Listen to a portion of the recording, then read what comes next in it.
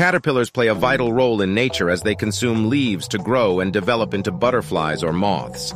This feeding process not only fuels their growth but also contributes to the balance and diversity of ecosystems.